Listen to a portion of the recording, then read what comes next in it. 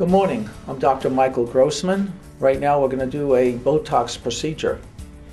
So we have Mary Ann here this morning. How are you today? I'm good, thank Good. you.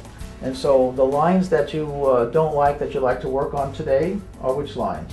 Above my eyebrows. Okay, lift up your eyebrows. So as she lifts up her eyebrows, she has all these different lines that are developing that are um, even there when your eyebrows are relaxed, the lines are still there.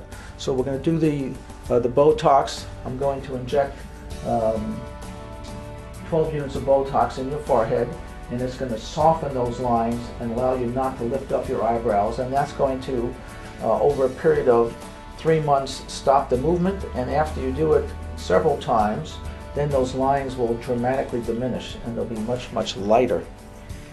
One of the nice side effects of Botox is that it takes away headaches. So if you have any trouble with headaches, you'll find that they get a lot less. Very little discomfort. You feel it like a mosquito bite. A tiny pinprick. You feel that much? Nope. That's the teeny pinprick.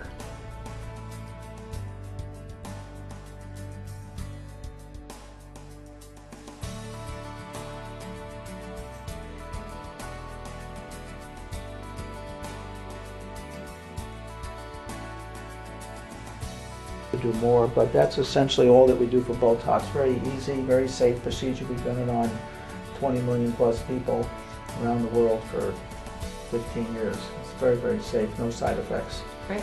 Well, all right. Okay. Take care now. Thank you.